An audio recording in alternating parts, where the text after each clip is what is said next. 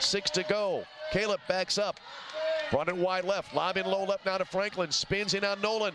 Puts the shot up and in for the win. Jasmine Franklin against tough pressure from Ken Nolan hit the shot. I got to believe we'll have a look at the video here to see if there will be any time put back on the clock, but for right now, no time shows. Franklin, deservedly, deservedly so, getting congratulations from her team. Let's see if she was able to get the shot away in time. Oh, yes, without a doubt. Five tenths remaining. And now I think they're going to see, I think that's a game winner. There's, the clock went down to zeros. This game is over. And Jasmine Franklin, a tough shot to get the win at the buzzer.